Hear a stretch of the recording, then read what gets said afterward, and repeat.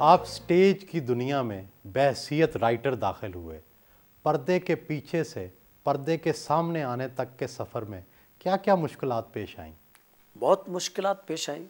सहूलत से तो कोई भी सफ़र नहीं कटता। अगर आप यहाँ से मॉडल टाउन से गुलबर्ग जाएँ तो आपको उस सफ़र में ही पता लग जाएगा कितने आपको अजियतनाक सफ़र से चार होना पड़ेगा, वैगनों में किस तरह आपको ठूसना पड़ेगा।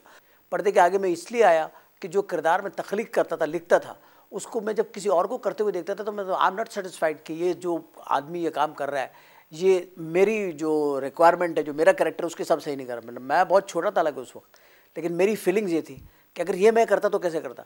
तो फिर मैंने कोशिश करी कि मैं खुद करूँ इस कोशिश के अंदर तो फिर मैं करता चला गया।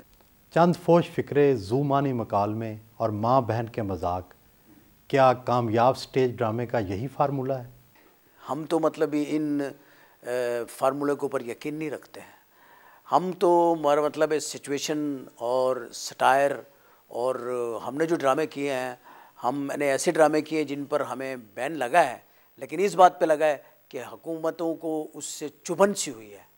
मैंने हर सब्जेक्ट के ऊपर ड्रामा लिखा और अलहमदिल्ला जिस महकमे के लिखा है, उस महकमे की तरफ़ से मुझे नोटिस ही आया पाकिस्तान में स्टेज ड्रामे को अभी तक आर्ट के तौर पे तस्लीम नहीं किया गया। स्टेज ड्रामे के मुखालफों का कहना है कि स्टेज ड्रामे पर अदाकारों नहीं, भांडू और नकालों का कब्ज़ा है। इसके अंदर जो है सेंसिबल बात यह है कि हर आदमी हंसाना चाहता है और कोई अदाकारी करना नहीं चाहता।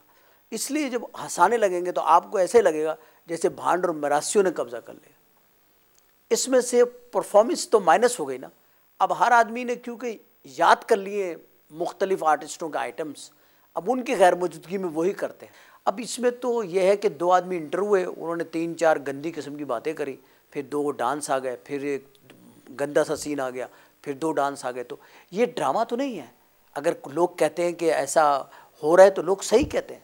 मगर इसमें प्रॉब्लम ये हो रही है कि जो इस दौर में अच्छा ड्रामा भी करने की कोशिश कर रहा है, वो कंसिडर नहीं हो रहा। आपके अक्सर ड्रामे वन मैन शो होते हैं। आपके साथी अदाकारों का कहना है कि आप किसी दूसरे अदाकार को बर्दाश्त ही नहीं करते। नहीं ये गलत बात है। अगर ऐसी बात होती तो जो जिन आर्टिस्टों को मैंने इंट्रोड्यूस किया है ड्रामा लाइन में वो कभी भी हिट ही नहीं होते। मैं ज़्यादा लोड ले करके काम करता हूँ। तो मैं जहाँ देखता हूँ कि ड्रामे में कमज़ोरी आ रही है उस पोर्शन को संभालने की हम कोशिश करते हैं। इसकी ये इजारदारी का काम ही नहीं है। ये काम तो काम इसके अंदर आप इजारादारी नहीं कर सकते या, या किसी का गला नहीं घोट सकते। ये बात किस हद तक दुरुस्त है कि आप कॉमेडी में मुनवर ज़रीफ़ की नकाली करते हैं? एक होती है इंस्पिरेशन एक होती है नकाली इसमें लट ऑफ़ डिफरेंस बिटवीन नकाली एंड इंस्पिरेशन इंस्पिरेशन लेनी जो है वो दुनिया में हर आदमी ने कहीं ना कहीं से इंस्पायर होता है। इंस्पिरेशन का मतलब होता है किसी को भी मैं मैं समझता हूँ, जिसको किसी को आदमी अप्रिशिएट करता है, उससे इंस्पायर होता है वो। मनोवर ज़रीफ साहब की मुझे टाइमिंग बहुत पसंद थी। कि उनको, मगर आप कोई भी फ़िल्म, मेरा ड्रामा उठा करके देखें। मनोवर साहब ने ये काम नहीं किया जो मैं कर रहा हूँ। मैं उनको बहुत पसंद करता था, करता हूँ। अभी भी मैं उनकी फ़िल्में देखता हूँ। लेकिन वो उमर शरीफ, वो उमर शरीफ उनकी फ़िल्में देखता है जो उनका फ़ैन है, जो उनको देख करके हंसता है। लेकिन कोई पूछेगा भाई उमर शरीफ आपकी तफरी क्या है? तो मैं कहूँगा, जो मनोवर शरीफ मेरी तफरी है। मैं उनको इन्जॉय करता हूँ।